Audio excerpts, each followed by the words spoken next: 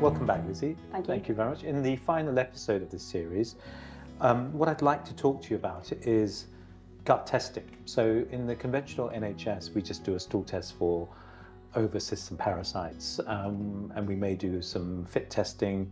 Um, but we're aware that the functional world has some very detailed testing, and our gastroenterology colleagues don't tend to venture into this world.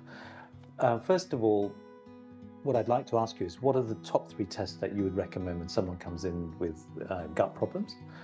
Um, and secondly, why are the conventional doctors not looking in this direction when we've established that all our gut health is poor and it can lead to a whole array of symptoms later? Mm. Top three tests. Um, I think the first one isn't a test, it's simply a history um, and making it a very good one. Yeah. So give the patient the time to talk. Um, it's really important to understand their history, how the gut could have been affected along the way. You know, it can be something banal like uh, stress when she was 16 because she was sitting an exam, for example. It all matters. Um, so that would be one, not a test, but an important start. Um, and then ultimately, yes, you're right, comprehensive stool analysis. It digs way deeper than your average um, stool testing. It looks at all the good bacteria, the potentially the bad bacteria, the overgrowth, the funguses, the yeast, the things that do cause, cause problems. Yes, it also includes parasites, etc. Um, so that's really important, and it shows us digestive breakdown and how we're using our food really. Um, so that would be my second. Um, the last one, I think, with gut problems, there is definitely value in food allergy testing. It gives a really good insight into the gut and the how the body is responding and the wall and the leaky gut concept um, and things that we can eliminate in the early days to really kickstart that healing. Okay, great. So, why aren't our colleagues doing all of these tests in hospital? Normally, they get a colonoscopy and a biopsy and a, a blood test to exclude um, celiac disease. And then they're told if all that is normal, they've got irritable bowel, eat more fiber, eat more fruit. Good Why are we question. doing this sort of testing? Look, I mean, there's a limit to what you can do in the public health service. Of course, there is. Um, but this type of testing holds a lot of value if you want to get to the root cause. Why isn't everyone doing it?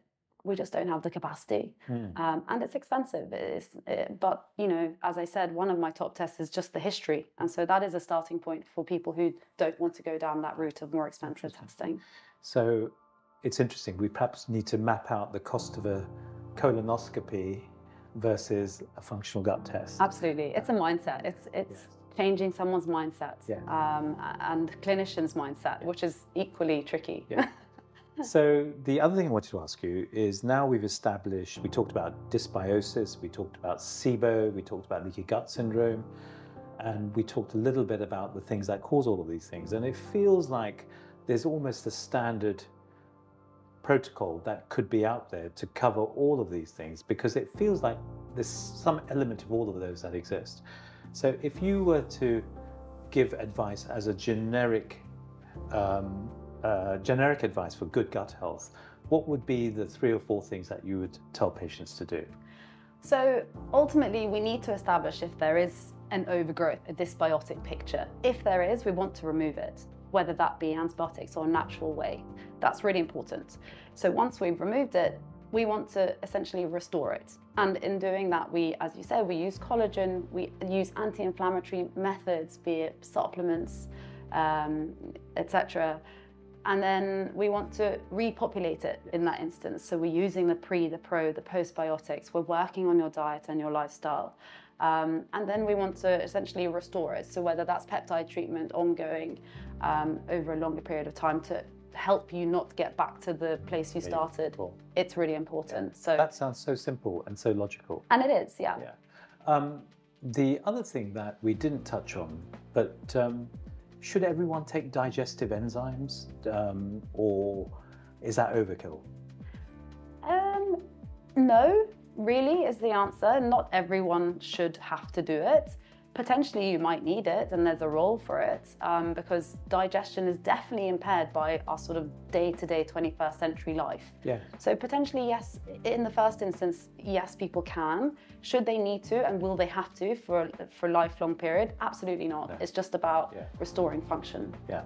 So again, the stool test that you described will give us an indication of how much emphasis to put on all of these things. Yeah, it literally breaks it down. So it Yeah. breaks down your ability to digest proteins, fats, etc. It looks at your microbiome. Is it in balance? Is there dysbiosis? It looks at your ability to create your own good bacteria, feed back into it. So it breaks it down really nicely and it allows us a platform to start treating from. Fantastic.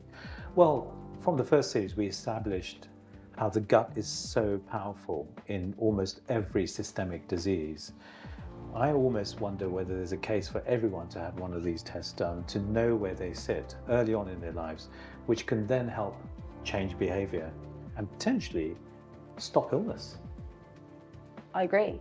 I mean, ultimately, we know that we think and we know that to a certain extent, leaky gut leads to autoimmune disease. As you say, some clinicians are adamant that's an apparent diagnosis. Um, and we know in animal trials that once we kind of cut the actual connection between the gut and the external body through the vagus nerve, that the disease disappears, be it ALS, dementia, Alzheimer's, all likely consequences of inflammation stemming from the gut, Interesting. as far as we're aware Yes. so far.